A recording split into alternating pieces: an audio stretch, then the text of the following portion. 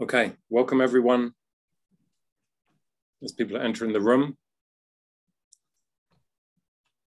we are ent we will be starting the last speaker series for this year. And I am happy to be handing this over for an introduction to uh, Shyam through, uh, from the Department of Biomedical Informatics. They have a strong program in uh, machine learning and computational biology and I thought I would let Shyam do the introduction for John Kalafut. Shyam. Thank you, Adrian. Um, I'm indeed very pleased to introduce Dr. John Kalafut, who is the speaker for today. He's the CEO and founder of Asher Orion Group that is located in Pittsburgh. And this is a firm that is relatively new. It provides advice, services, and solutions for digital health and medical AI solutions.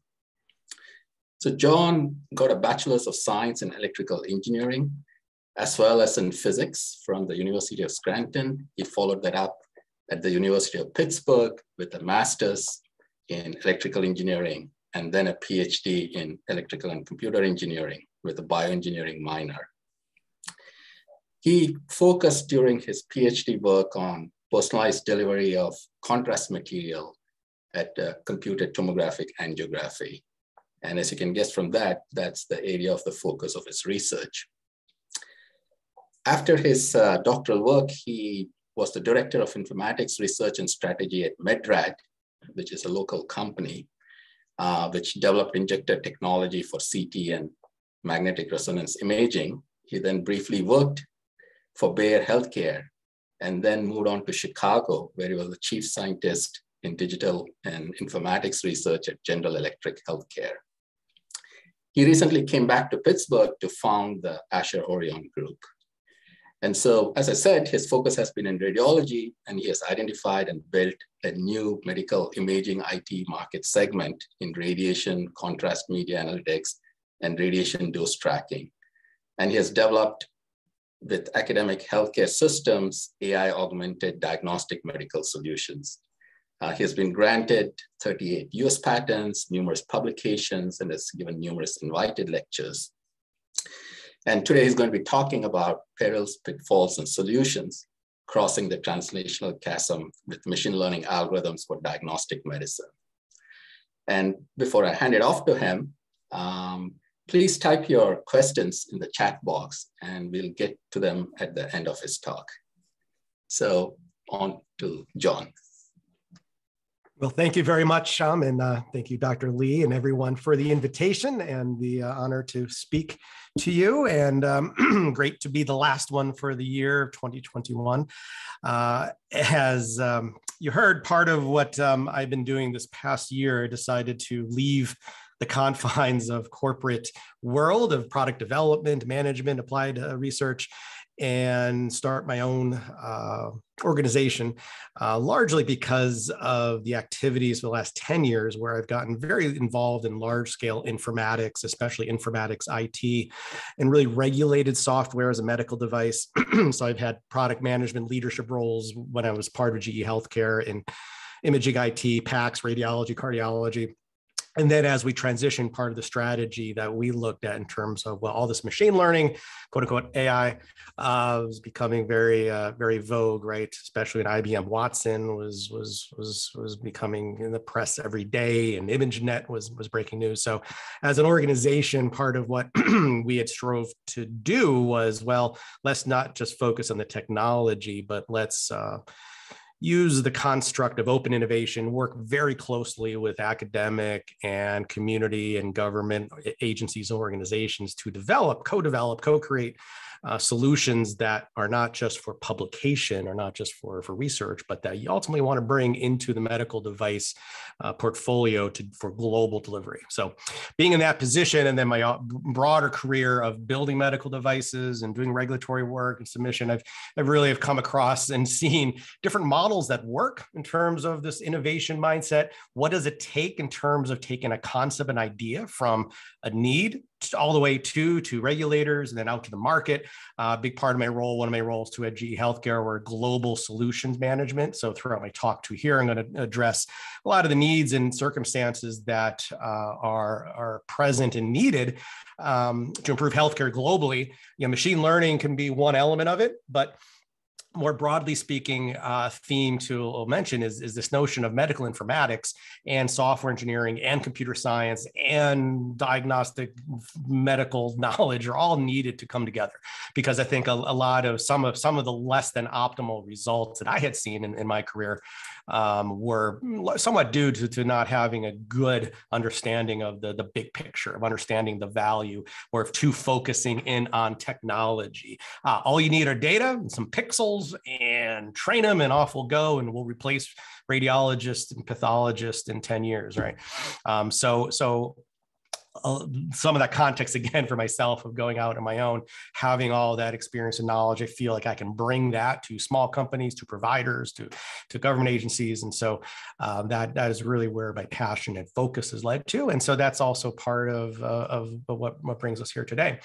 Um, obviously, you can read this. Some of this is those typical materials you'll see in in uh, intro corporate level uh, discussions. But I did want to put a box here for a second because again, this is the Institute for Precision Medicine, and I think from a vendor industry perspective, there is the precision medicine definition that I think many of you would recognize and acknowledge in terms of molecular uh, chemistry, molecular medicine, and cellular interactions.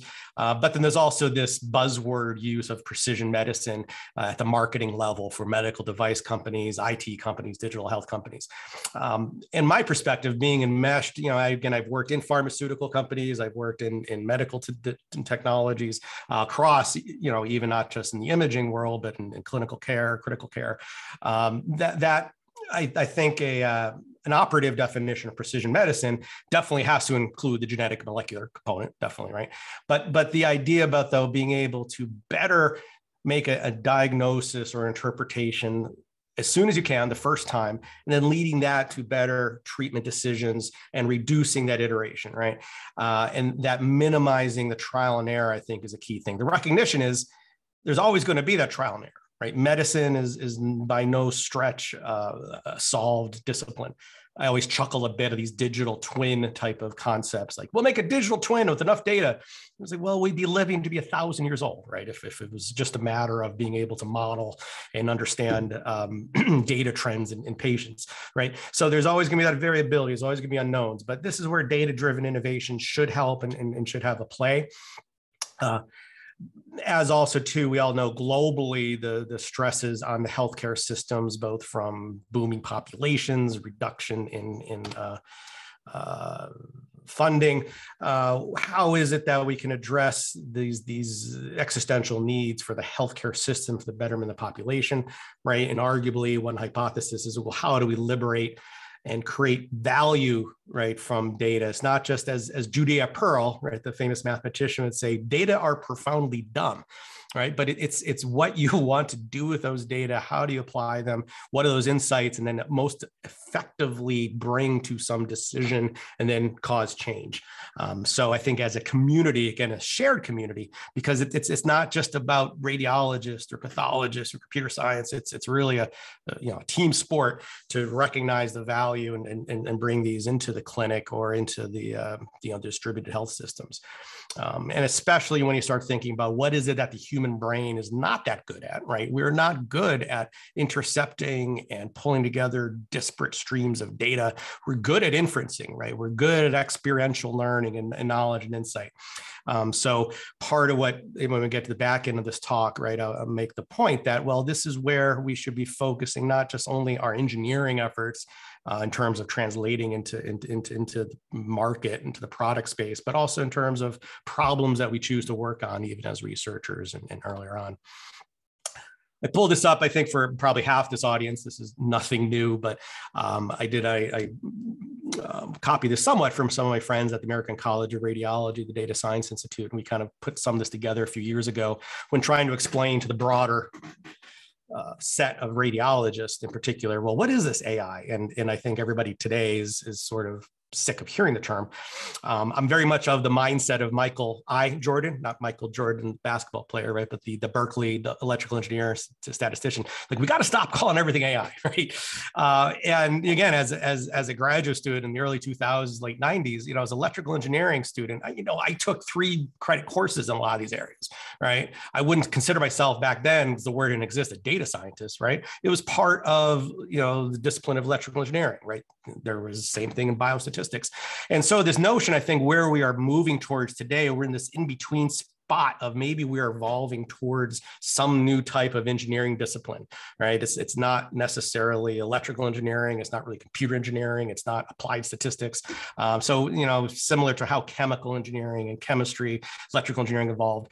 Um, so, so as an operative definition, why I put this in quotes, is well, there's all of this, this theoretic underpinnings and framework. And now the issue is, well, how do we start applying these?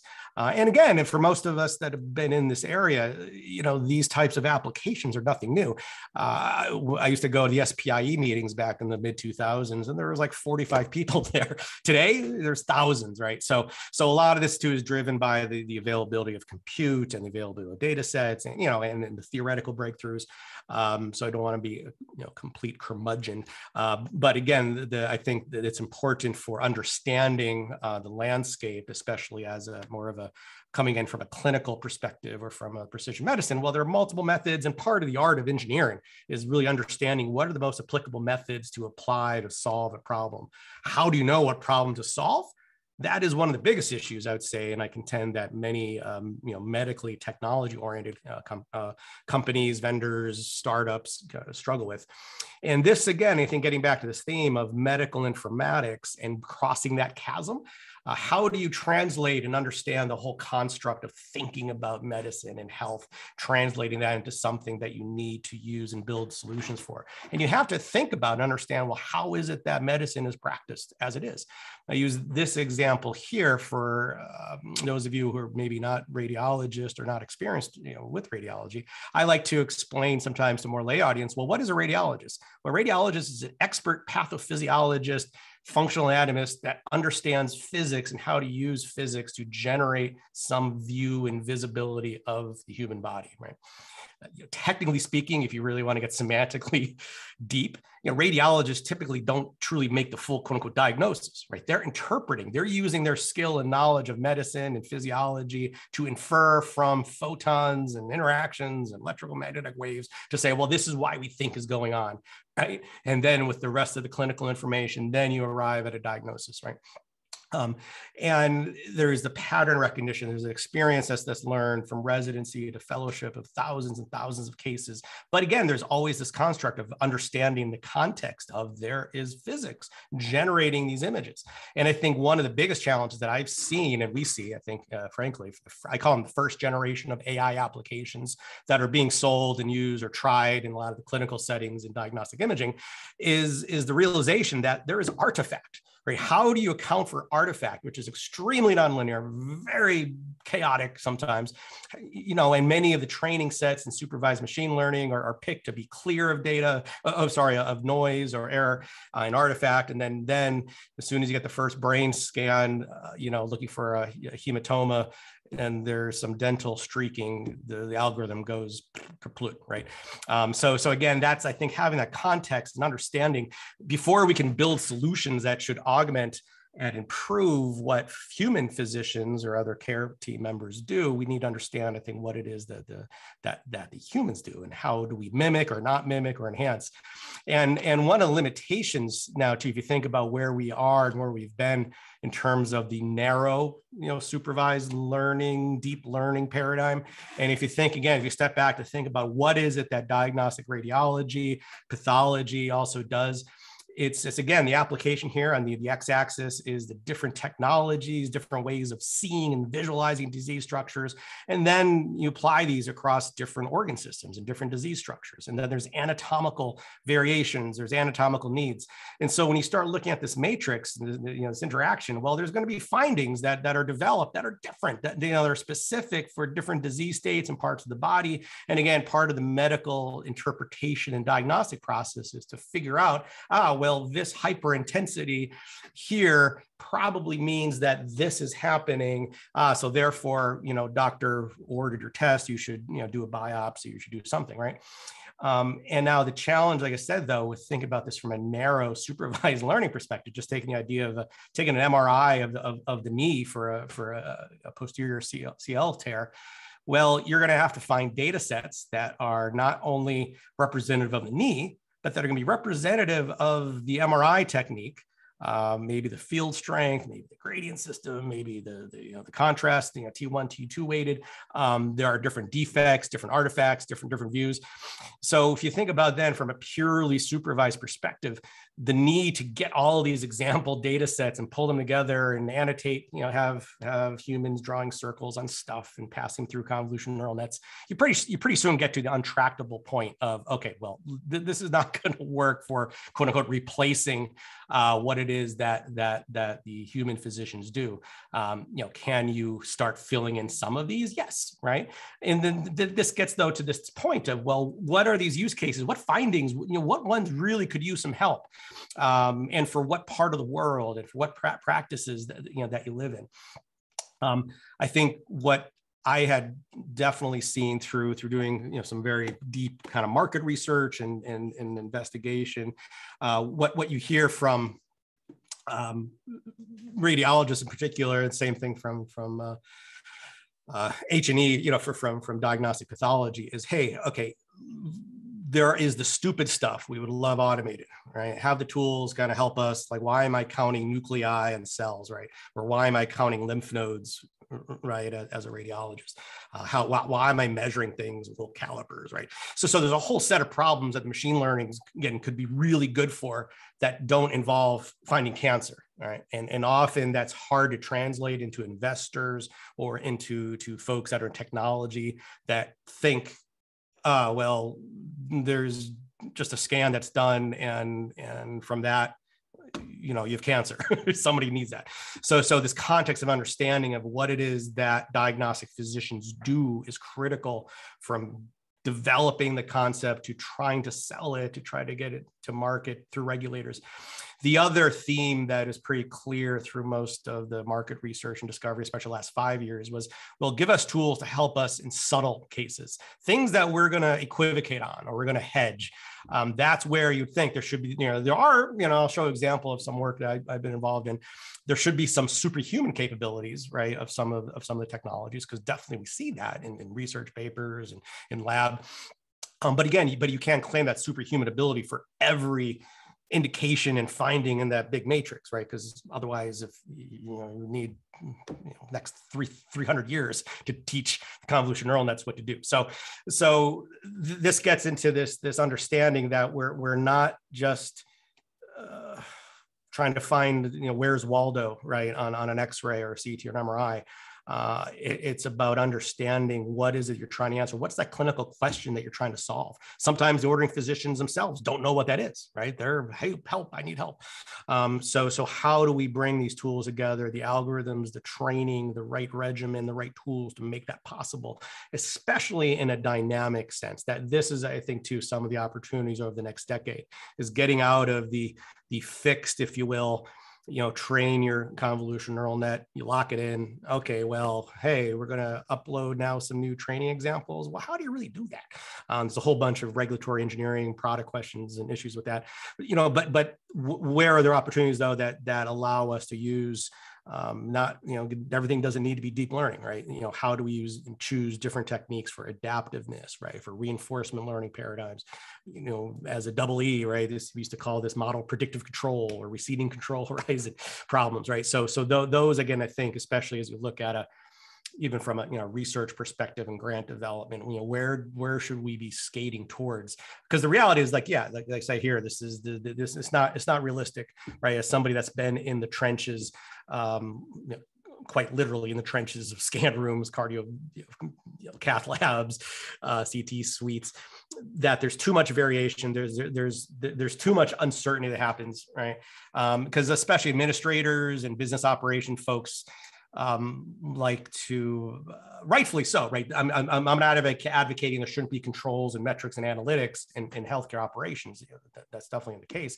But the thing is, you can't just though take blindly techniques from manufacturing and say we're going to apply Six Sigma to the way that that our surgical suites work, and it's always going to be the case, right? Because one of the things, and and and this this also gets at I think some of the theoretic underpinnings of a lot of the, the techniques we use in machine learning and and expanded is is we want we know that there is going to be appropriate variation. Removing variation completely is never going to be possible because you're dealing with sick people that manifest their diseases in so many different ways. Um, so the trick is for building this adaptive and smart system, how do you accommodate those appropriate variations, but help the care teams to make the right decisions? Like, you know, maybe don't bring the horse in here or something. Um, because then from a you know from a the waste comment here is like yes there are lots of opportunities to apply again machine learning driven data driven technologies uh, you name it right to, to help address these these issues around workflow about disruptions. Uh, and this is too sometimes missed when um, when you think about sometimes the, the the, the zeitgeist about ai right in medicine. Um, there are just as many good applications of optimization theory and numerical methods for solving scheduling allocation issues and problems. Um, and so in the diagnostic cockpit if you will right if you think about radiologists to deal with we have then this other challenge of broken, sometimes information streams of convoluted systems that have built up over years. Um, and the, the, reality is, so so I, I, I found this a couple of months ago. I was doing doing a talk, and I, I dug this slide up from a 2012 about hey, there's this issue of all these systems that don't really interoperate all that well, and information flows all over the place, right? And you can also tell, you know, Dr. House. There's probably some people in this call don't even know who he is, but you know the, the this idea, and this is put forward by Sandy Napel uh, in Stanford again back in the early 2010s. Hey, where we want to move towards, you know, is using you know what we used to call you know content-based image retrieval, you know, CAD techniques. How do we get away from just looking at pixels and drawing circles, but really trying to extract more insight from the imaging features, but also too from the uh, clinical information that you can get access to. And then the part about because I've seen I've seen big companies struggle with this whole idea like, well, how do we, you know, we, we should be doing something in genomics. Uh, we should do, we, we should be doing gene therapy, or we should be doing precision medicine. So we should buy a genetics company and put it next to our scanners, right? And like, well, that doesn't make a lot of sense necessarily unless you think about what is it you're trying to do.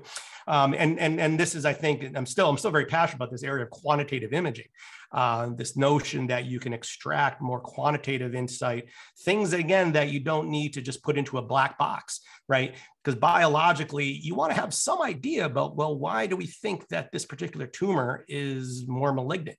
All right, you can't just say, well, bruh, you know, 14,000 layers in the ResNet thought so, right? You want to be able to trace that back to something that could have some sort of physiological, or biologic uh, resonance, right? So whether it's the texture because it's more bumpy, or there's a higher order feature of skew or kurtosis or a wavelet coefficient, and then once you start getting the quantitative aspect of this, but you need to be, you need to be able to really control the input and then how you acquire the data, how you process them. That you know, if you can believe you know the reliability of those numbers, now you have some interesting possibilities, right? To compare these into some of your your more classic or you know molecular um, uh, metrics and, and, and, pieces of information. Uh, but to get to that vision of of true quantitative imaging that you can believe and trust. It takes the involvement of physicists, it takes the involvement of radiologists and pathologists. You really have to control your input. How do you actually approach and process signals, and how do you approach uh, for repeatability? Because again the, the world is nonlinear right? As engineers you know we, essentially try to make a nonlinear world linear. Um, and there is a difference when you are designing an mri system and its imaging processing channels. Same thing for ct or ultrasound. There's a sort of a different approach you're taking when you're trying to zero in and, and make the image as good as possible. That's a slightly different design objective than if you're trying to acquire information out of an image space that you're going to use in some sort of quantitation or quantitative uh, of, of, of piece so and and and this is you know this has been kicked around literature and you know some work I've been involved at the GE Global Research Center. Can you work, for instance, in more of the the raw what we call quote unquote raw data from MRI and CT, um, similar to what happens in in lab medicine, right? Nobody nobody spins a, a beaker around anymore and looks you know for the settling of of red blood cells, right? That all kind of happens inside a box and numbers come out, right? Uh, but we're still very much we're in the nascent phase, I think, in diagnostic imaging in that that era of like, well, we're kind of still spinning the, the blood cells. Um, but for us to advance into this next era, well, maybe we can again look at the original sensor data, right? What we call the sinograms and CT or K-space data. Uh, but then the question is, how do you correlate that to something physiology based? So very interesting, both theoretic challenges there, but then also clinical translation issues, which again may not end up warranting much, right? But but it's important to realize that. And then this other barrier, right? I put this little screen up here is just to give the insight. Uh, some of the reasons, right, we don't have that that Dr. House you know, vision uh, is is we deal in very large, complicated enterprise IT systems, right? The uh, the backbone of, of most hospitals is the radiology PACS and then the lab information systems, right? And these are dealing with tens of thousands of transactions, multi-users, concurrent issues. So it's it's it's it's not. And and by the way, your radiology imaging management system, your PACS, that's a regulated software system, right? Um, so you can't just willy-nilly start doing updates and changing things, or as a manufacturer, you just can't you know make some new software and push it out, right? It has to be done under very measured set of controls uh, to to ensure safety. So um, that is that is a barrier, but also again an opportunity if you think about where where from the computer science evolution, computer engineering, and networking, and we're starting to see that transition occur today. Um, not fully, you know, I'd say healthcare operations we're not truly fully into the cloud yet, but you really are starting to see though the embracing of, of, of container technologies and Docker Compose and Kubernetes in production level systems, right? In terms of enterprises, even so. So we're we're we're, you know, we're on that cusp, right? So so it's it's it's this need again, the needs to sort of help realize this future. It's this combination of technologies and engineering from you know, network, computer science breakthroughs, medical insights, informatics that need to kind of pull together to sort of change you know, the dynamic. Um, because this, this, this other mythology that uh, is grown and is still a bit out there, especially as it relates to um, a lot of the more say digital health uh, vendors or folks that come into into medicine thinking, oh, we just need data. Um, and something that, that I like to, to point out, especially as, as I realize now, especially more in my independent consulting uh, world, I, you know, I have many clients that are trying to work in this data aggregation or this data curation world, you know, and again, me coming from the, really the clinical, you know, medical development side, I'm always like, well, well wait, hey, we're not just pulling out you know image data just anonymizing it you know because again that's not going to be useful for most hard problems but however but but if you think the bigger picture well yeah there are a lot of data sets that are generated in in medicine and healthcare that don't have necessarily that same level of protection or, or risk or, or privacy um, but I think the the and I, I stole this from Medium from uh, from Travis May, the guys at Datavant. Um, I was starting to make my own slide like this, and I figured, oh, what the hell, I'll stop. Um, because um, folks that don't have, I think, the clinical uh, clinical IT background, um, they tend to think of you know these data sets, right? And, and this is what's been being transacted for a long time, right? From from pharmacy information systems, from supply chain. The real challenge is though is when you get into, and again, I think even from you know the Datavant thing, you know that they talk about labs and EHR software. So there's this misperception too, I think, in the technology uh, world that oh well we're going to go talk to epic or cerner because they they they control the data. So they can somehow give us access to data and we're going to build you know just give us you know two years worth of, of your patient notes and we're going to run NLP on it and find a solution, right? And and there's that realization they don't understand. Like, well, no, no, Epic Cerner is providing the technology. You know, those data assets, those things are within the institution. Um, you just don't come and get those. Um, but then there's this, I think this also, there's really there's this misunderstanding of what happens, especially more, and again, areas that I've been deeply involved in, right? Making machine learning algorithms out of diagnostic images, right? Or out of waveforms or out of visible light images from, from slides. You know, you cannot just apply an aggregated view of the data set um, and and and work on it right? You need access. The people training the ai models need to look at the actual data right? And this is then one of these interesting challenges that now arise in terms of privacy working together with other institutions. Uh, and I'll, I'll, address some of the, the work too that i've been doing in federated learning as, as one technology way of helping overcome some of these challenges.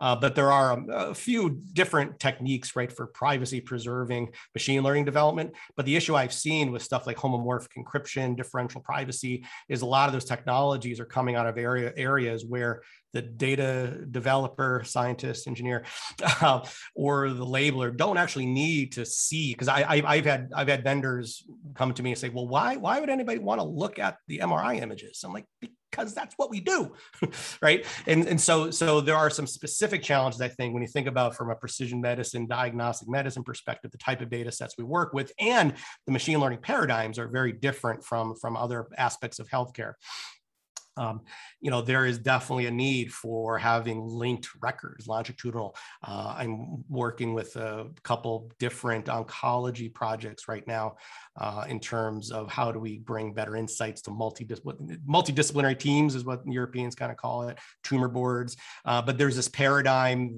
that still hasn't really completely taken off in, in, in the US. But this idea of that, hey, you know, you should have a more coordinated team making decisions and not just in cancer right? I think in academic medicine, this happens quite often, right? You have conferences for metabolic diseases and for neuromuscular, you know, skeletal. In, in general, medicine community practice, it doesn't happen as much. Um, but there is definitely a need there, a use case for helping to bring to those participants some insights that maybe the single radiologist who, who drew the last straw that had to prepare for the multidisciplinary team that that week, you know, maybe didn't fully pull from that patient's record, or the pathologist that has to describe with their hands in the conference, well, the cells looked like this, right? And they can't actually look at the data. So so so there is this need for trying to mine, maybe find some signals in a record that again, humans not good at looking at that trace. But to do that, to build those machine learning algorithms, you can't just take a bunch of data and scrub all the PHI out of them, especially your service dates, right? You can't just say, hey, I have a whole bunch of records for random patients. We don't know anything about their demographics, their age, their comorbidities, right? So, so more and more this need for building advanced, or I would say even, you know, somewhat useful machine learning, we have to think about, um, you know, longitudinal linking, you know, records. Uh, this is also leads to, I think, some of the so so you know the theses here. Well, why is it that a lot of these first I call them first generation you know AI applications? I think if you look in, in the data, there are about 145 quote unquote AI uh, algorithm products the FDA has cleared over the last three to four years, right? Um, and, so, and, if you ask then, well, what's the market uptake of those? Mm, it's very different, right? Um, and so I contend part of the reason too why there is there there's some reticence or these solutions don't work. I mentioned one already, Reg, about the training paradigms, real realization, reality. Another one is just of people making some of these products don't have a good grounding in understanding what problems should we try to solve with our technology, right? And this is where, again, you need a team of folks that understand what it is healthcare is supposed to be doing. What is the vocabulary? What's the language? Uh, I've worked in and around and in collaboration with at least four major medical device manufacturers, and I can count by me on one hand the number of people in those organizations that know what a QALY is, or or or DALY, because um, again, it's, it's just it's just not part of that culture, right? Of building software or hardware devices where you need to think about, well, what is it? You know, what is what what is needs to be solved, right? You, oftentimes the the answer is, well, the marketing guys will tell us what's important, we'll build it, right? So again, I contend, especially for a data driven technology embracing, you need a much different thought. You need to have a team informed and thinking about the value problem, and again, globally, right? That this is this is data I pulled from the the you know VizHub um, visualization of global burden disease data. Um, and and you know just as, as a quick look here, if you look at the uh, the mortality data, um, yeah, cancer still a huge problem, right? But but look at look at what's still killing so many people, right? Ischemic heart disease, stroke, um, you know, non-communicable diseases and communicable diseases. You know, so so where and here and globally speaking, where, where are there some areas, and especially look at the trends, what's happening over time and disability adjusted life years, I think gives you another more even more interesting kind of view in terms of building medical technologies, um, because now you have a you have an argument you can start making about okay, look, we're we're, we're not just uh, trying to to to make something we think is going to reduce death, but hey, we're going to make some impact on the economics and and and, help the health systems, broad health systems adapt and learn. And this gets back to understanding, I think, and mapping out and thinking through what are really the value chains um, not to sound like an MBA for a second, but this is really important, I think, and is sometimes missed in the product management. And, and, and especially I see this in small companies and startups and big companies, but really getting in and understanding the whole value flow. Where, so in the case of radiology and imaging, it's like, okay, this all starts at somebody thinking that this patient could benefit from having some invisible either death rays or sound waves or something going through their body so we can help answer a question right and it ends with that information being turned into text going back to that to that physician or to a group of physicians. And all the stuff we do along the way all the technology all the fast fourier transforms all the convolution neural nets decision for all that is, is is really in that in that goal of trying to address that question and to you know increase that outcome and at the same time minimizing some of the costs to do that uh, and and the solution set to solving these problems, especially again, if you think about these global issues, I pull this up here because again, a lot of work I've been doing have been doing is is and still is in, in, stroke management to make an effective stroke program, which by the way is is a very good application for machine learning, and, and we're seeing that as well in terms of even some reimbursement patterns and and the uptake of some solutions in the market. Um, but if you think about how is it that you really want to address the disability adjusted life years, mortality for stroke management, you have to think about well, there's more than just the data that's acquired during that you know diagnostic scan. There's that decision to call ambulance or in some parts of the world they get wheeled in by their family members right and so each of these different capabilities need technology and also will benefit from uh, from technology but at the same time i love this this quote um, because we often, and I've seen this throughout my career, is we'll, we'll often too try to over technological, over technologize maybe um, problems. I, I can I can tell you can't tell you how many companies I've seen in the last 20 years that have tried to we're going to replace the whiteboard right in the operating suite or in the reading room or somewhere.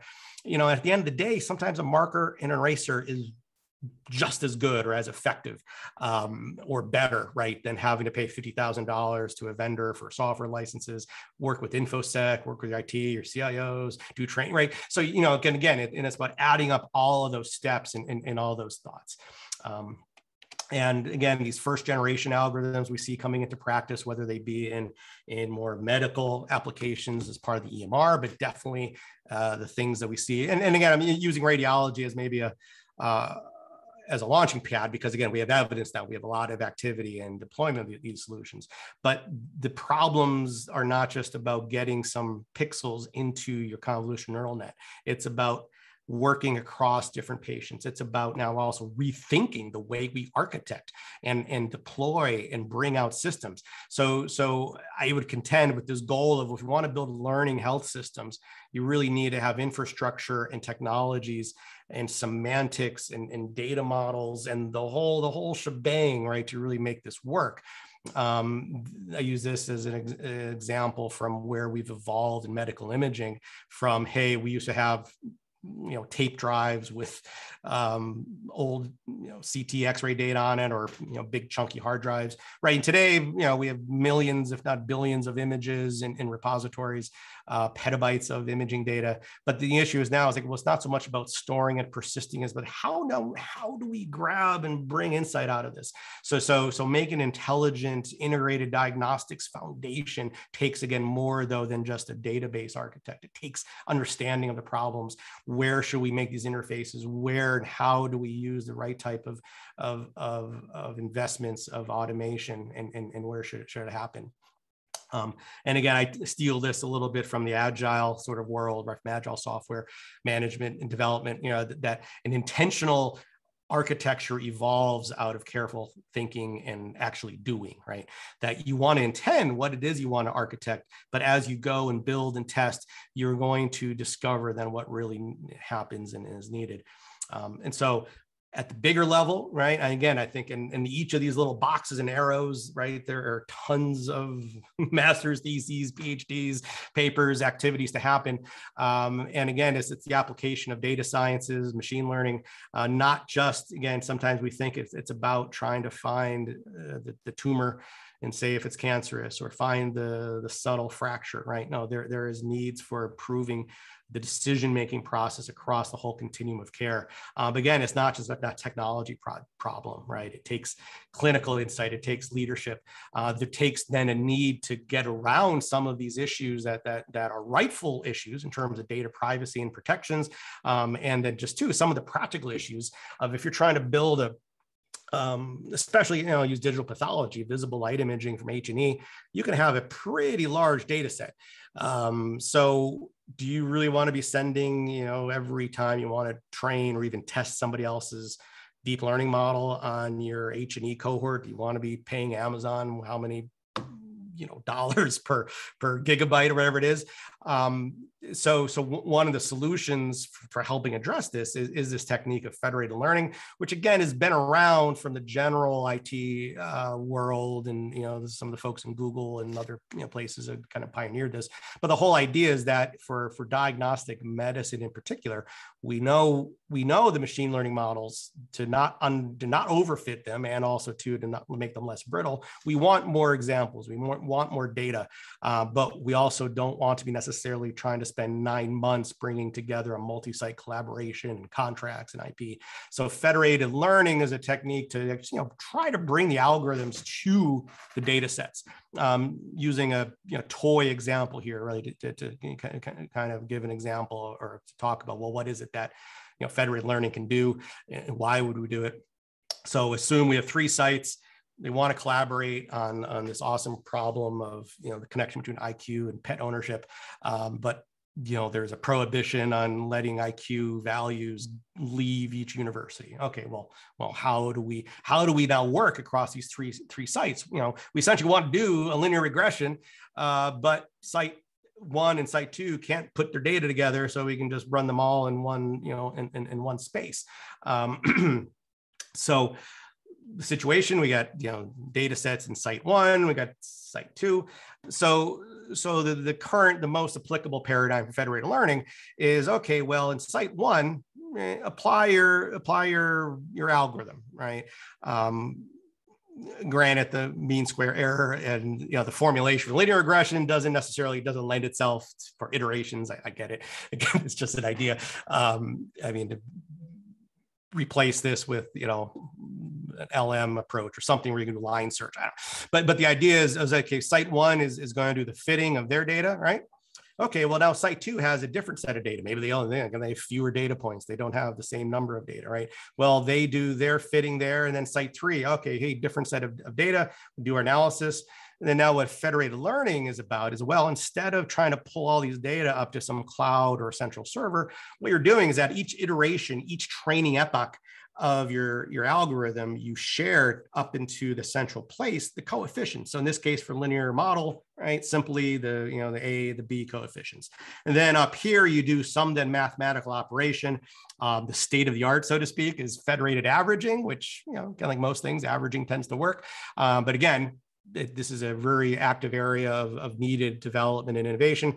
Um, but so, so the coefficients are pooled, averaged, and then you send back to each site this now new global coefficient set, you know, AM, BM, and then you iterate again, right? Um, and so the, the, the the theory being that when you're done iterating each of these sites, you're going to end up with a global model. Now, assuming your your your assumptions are proper, right, or, or appropriate, that the global model there is a linear relationship in this case between IQ and PET. Um, you know, the data are are are are not too collinear, right? So again, there are all those assumptions we tend to sometimes just gloss over in estimation theory. These become much more acute in federated learning, right? Um, which is again a very active area of research and needed. But but but the idea though is this is a way of getting you to get towards a more global model without having to share and push the data all over the place um, from more of a functional you know, perspective, right? This is this is this idea that that the notion there's there is some central controller um, that is really controlling command and, and, and heartbeat.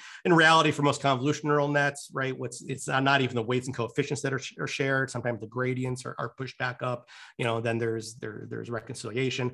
Uh, yes, there are theoretical and practical potential privacy issues there. You can take from gradients, for instance, and do some manipulation, get back to the data, uh, but that's where well, hey, okay, fine, do some point-to-point encryption or do differential privacy of the coefficient transfers. Um, but again, that that's also a good area of, of, of, of research and needed. Um, coming to the end of the time here, but just putting this up to as, as a proof point that the stuff really can work in reality.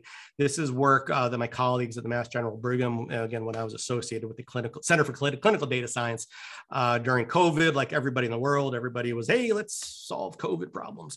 Um, but the opportunity that arose here was the, the, the guys at MGH developed a risk prediction score, uh, multimodal, right? So not just based on X-ray, CT, but also some clinical features. Uh, it was pretty decent, right? Right? Both in the Brigham and also, also over at MGH. Uh, but then other sites wanted to use it, right? So just informally, a site tried it in, in the UK. Oh, this thing sucks, right? So that was then okay. The, the same realization we had doing some of this large scale industrial academic work uh, at MGH hey, if we could if we can federate these groups together, if we can do a means of not having to move data, do data sharing agreements with three different continents, four continents would be awesome. Um, NVIDIA was interested in this, so they funded 20 sites to come together to take this initial uh, MGH train model, deploy it at about 20 locations around the world, and then retrain it. Uh, and so this, and so this is this was recently published in, in Nature Medicine.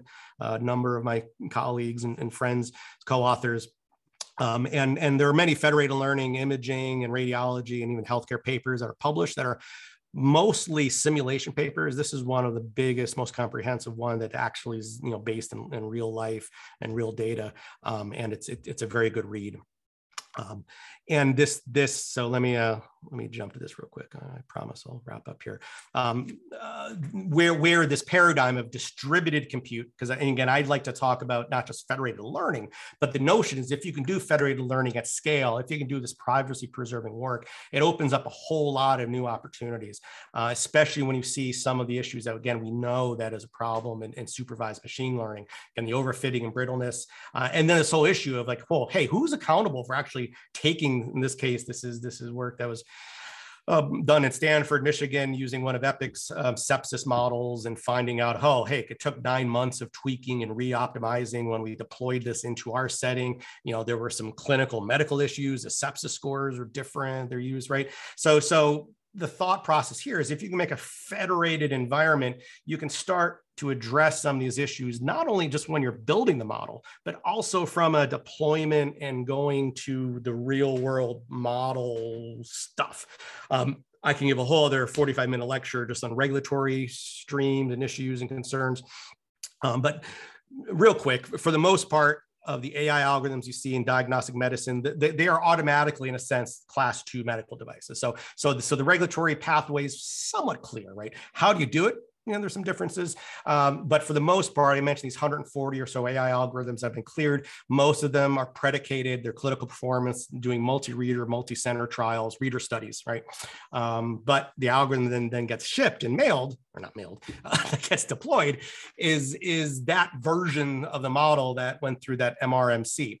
Uh, if you want to now change it, if you want to update that convolutional neural net, well, hey, there's some challenges, you know, catastrophic forgetting and what of enrichment do you do? Well, assume you figure that out. Well, now you got to go and somehow deploy this in each of your 1500 sites, or in the case of things associated with scanners, you know, thousands of places. Uh, the other issue is how do you even do surveillance? How do you know this machine learning algorithm is, is not working well?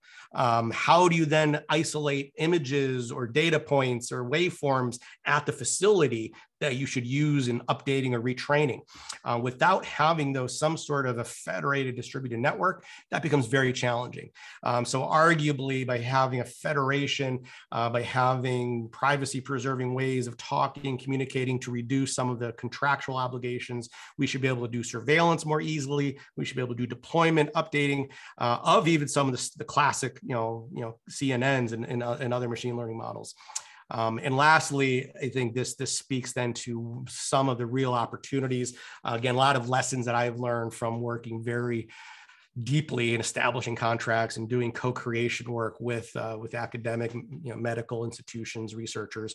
Uh, you know we, we need to you know there's a cultural difference right? There's usually that challenge of okay hey look i'm trying to discover new things solve problems. I'm not so much concerned about what the fda thinks or what engineering is going to do. Um, but in my experience is is that view needs to change a bit right? Then on the industry side innovator side you also have to try to understand like well what is it what is the value really that your clinical colleagues your you know your your partner your true partner is going to be you know we're, we're, we're in a different era now where you just don't write a check uh, to the to the physics lab and say go build us a surface coil and do some phantom work and cool we'll take your MATLAB code and off we go right? These are dynamic living breathing algorithms. So we need to understand on the industry side side what is it that how do how do physicians think? How do health systems work? What are their challenges? What should they bring to the partnership?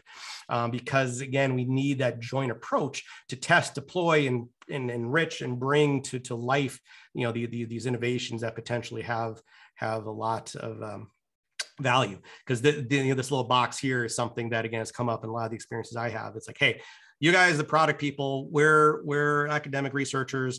Uh, we know some guys in the business development group somewhere said we're going to partner and share IP, but that's their problem. You know, I'm incentivized by publishing and getting tenure, right? Um, so so it, it, it is it, it it's it's a very delicate area, but again, I think it gets back to understanding what it is that you can gain and glean from what you can only know from living inside the health system, right? This is an example of some of this X-ray automation work been involved in. You know, you don't get this by having two product people go into two hospitals, right? You need people in the trenches. You need you need you need partners, collaborators. You also then need to have folks that understand what are some of the unique really data assets that you could use and should use to solve some problems. And I bring this up as as my closing example because this is an example again of work that I was you know, still involved in with, with colleagues up at Mass General and the Brigham uh, on stroke detection. This algorithm here, what we did is not the most sophisticated neural net. It's, it's a fairly basic, you know, U-net, maybe a Y-net with some, you know, dependencies uh, pushed in. But what was really different here, medically speaking, is the Mass General Brigham has been doing diffusion weighted imaging. You know, so essentially they've been doing MRI on all their stroke patients for the last 10 years right? And if you know anything about MR physics and stroke, blah, blah, blah, diffusion weighted imaging is essentially is the gold standard for finding out where there is dead tissue or dying tissue in the brain. So we were able to use that overlaid with CT information from the same patients to build a model to say, hey, algorithm, find in the non-contrast CT, which is a much simpler, much dirtier scan based on this, this information you get from the very, very ground truth on that patient help us find where we think this actual core of the stroke is. Uh, and these results have been extremely uh, encouraging, you know, and, and very powerful. Because the idea here, from a health economic perspective, is you can make a decision. You could see from a, a much less expensive technology, CT, non-contrast CT, you can get similar insight that you get from a million dollar MR scanner, right? And so, so this is again, this idea would not have happened without the involvement of neuroradiologists, neurologists, a custom data set and bring it together to also overlaid with the problem that needs to be solved globally and it's not just a point problem so um, that's um, that's my story. Again, could go on on a number of these other dimensions. Again, I I didn't really go too deep into some of the theoretic and machine learning stuff. Again, happy to, to do some of those um, and some other prognostication on where I think um, you know things should go. But very much appreciate your time. And I know how valuable everybody's time is. And um, thank you. So I guess Adrian, back to you. Fantastic, John. That was great. That was a tour de force of, yeah, quite a diverse array of subjects. If you want to share, can you stop sharing your screen and then we can see everyone? That would be great. Um, we can either take questions in the chat, and there's already a few quotes saying excellent and thank you, John, um, or you can raise your hand or you can unmute yourself. I will take the pleasure of taking the first question. I think a lot of people are somewhat frustrated by the lack of progress. And, and you kind of highlighted this at the start, depends what the term progress is. And I want to ask you about the Dr. House example. So you ended that, and I was I was wondering what you would say is the reason why we haven't made that much progress in that complex example of radiology uh, imaging. Mm-hmm. And I think your answer was uh, it's quite complex, and it's in a healthcare system, and it's regulated, etc. Mm-hmm. And I'm not too satisfied with that answer because we landed a man on the moon about 50 years ago, and I currently drive a car that's semi-automated. It can somewhat drive by itself, but it's not very good. And so I wonder, is it is is it is that the reason, or is it that the healthcare system hasn't seen value in this data and hasn't invested in systems that could do it? Because this mm-hmm. not being able to get the data is a is the impingement to machine learning and AI. Yeah, if you don't have the data, you can't do that. Yeah. Right. What is the barrier? Why is why haven't we made progress in that? Yeah, well, and and it definitely is starting to change, right? I would say if even so, we were talking before the talk uh, before we started here about the RSNA. I think a lot of the uh, sketches and architectural renderings, even aspirations we had at UPMC and in the old technology development center, we are starting to see some of these realizations in, in the latest software offerings from, from both smaller vendors and bigger vendors. Yeah. Uh, and I think health systems are starting to embrace them. There's, there's an interesting socioeconomic piece here. So I think for about 10 years in the US, there was so much you know i'm not saying it's right or wrong i mean it's good we have digitized health records but there was so much emphasis in getting emrs deployed ehr systems in deploying them that we are kind of coming out of that hangover right? And so now cios cmios in the last three four years are now finally ah okay what do we do with all these other systems? Right? And what's the value prop? But i still think there is though this this underlying piece which gets back to the academic medicine the need for value well, for so many years, especially in diagnostic imaging, we got away with, hey, our thing spins faster and you get better isotropic resolution. But then the question is, well, does that matter? Right. Um, so so there is some of that as well, right? Which which I think then gets back to the value proposition, the economics. Well, is it worth paying another three million dollars for this new improved, you know, nuclear medicine, hybrid, blah, blah, blah? If like what we have is okay enough and how do we know the difference right? Um, because in diagnostics same as in pathology there's a whole health economic uh, you know literature base here. How do you demonstrate value of diagnostics? It's not easy right? Because so many of their decisions are made downstream. You know there's so many other chances for things to go wrong. So it's sometimes difficult to argue because i've been in these rooms these boardrooms or helping my commercial colleagues how do you argue to make an investment of large large amount of money when it's like well hey we're good right? Yeah. Okay we have a couple of questions. So pradeep you can ask yours. If you unmute yourself.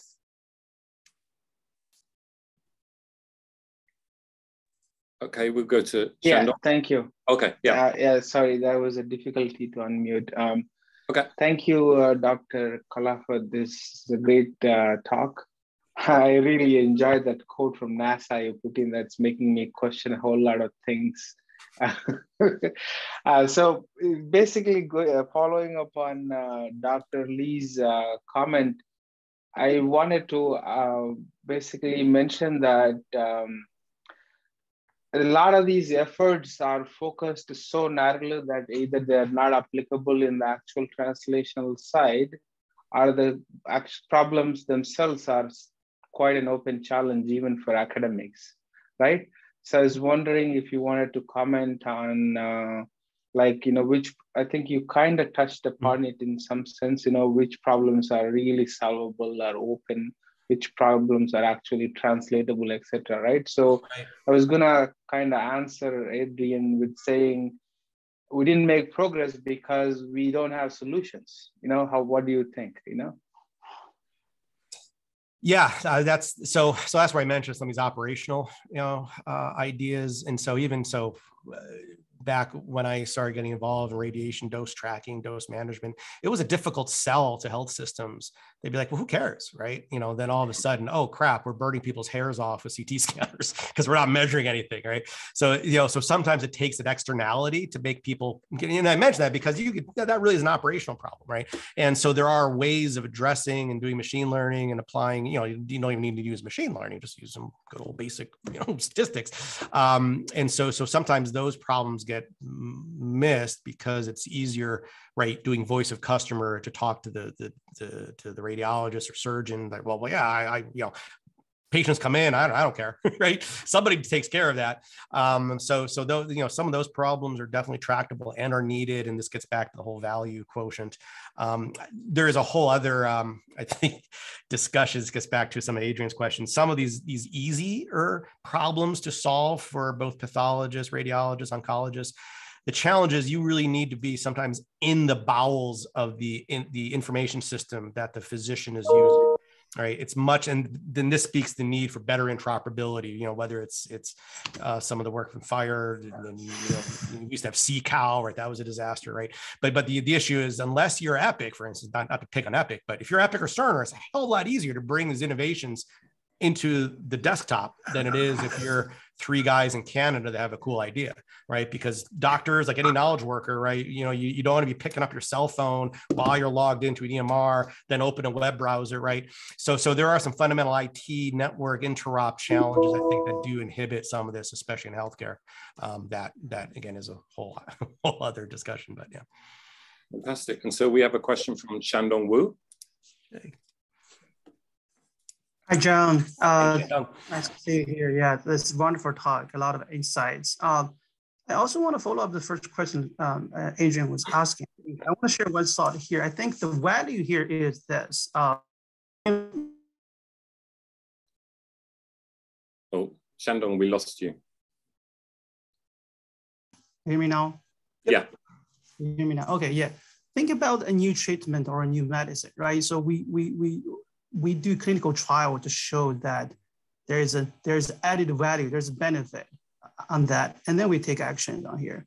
I think that the, the key for AI to have value, to really gain trust or gain uh, people to start use it or, or even purchase it is that we need a prospective study, clinical trial to show really the AI will make a difference, will add, add value to patient care.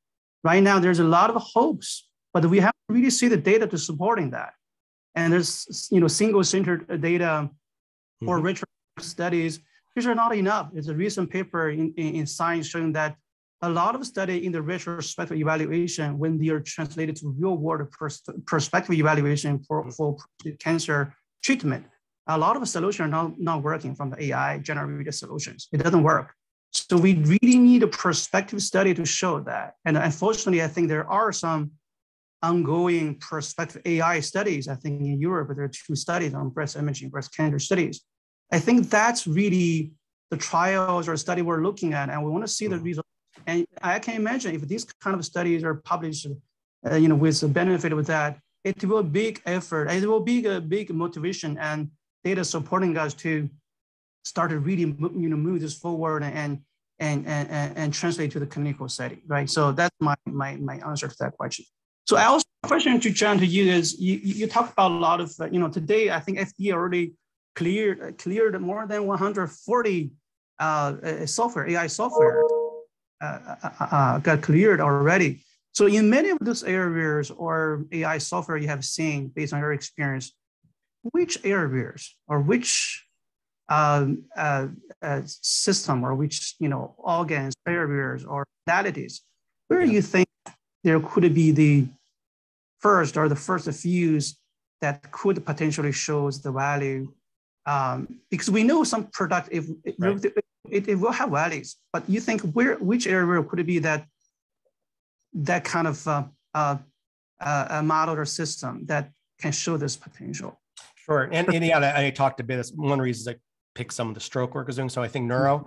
is really an area where again and, and some of the reasons there is a, a, a reimbursement pathway for mm. automated what's called large vessel occlusion algorithms right where you can find the blockage because it ties directly to a clinical impact right how do you more quickly without needing an expert radiologist at that point of care to make a determination that this patient is a candidate for revascularization right so it, you know the algorithms to do some of that assessment aren't necessarily the most complicated right but it fits within this pathway that ha we could really cause some impact um, and it builds upon again the medical the hard work from the rcts from the neuro the interventional community.